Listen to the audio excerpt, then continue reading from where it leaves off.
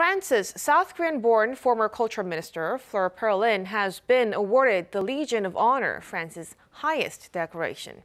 The French government gave the award based on achievements in the economic and industrial development of France and technological investment cooperation between South Korea and France. According to French newspaper Le Figaro, a total of 547 people received the honor in 2022 for achievements in a number of sectors, including the arts and science.